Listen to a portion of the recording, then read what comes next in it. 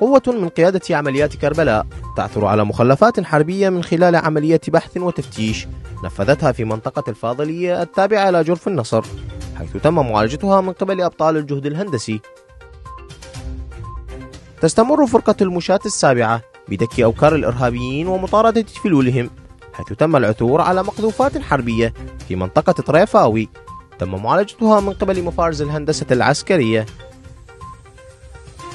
قطعت فرقة المشاة العاشرة تتمكن من ضبط كتس للعتاد من مخلفات داعش الإرهابي في صحراء الحريجة.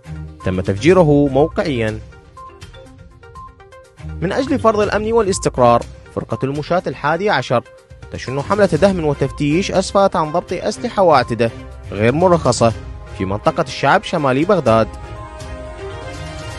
استمرارا لعملياتها الاستباقية فرقة المشاة الخامسة عشر تتمكن من العثور على كتس للعتاد في مقالع عين الجحش.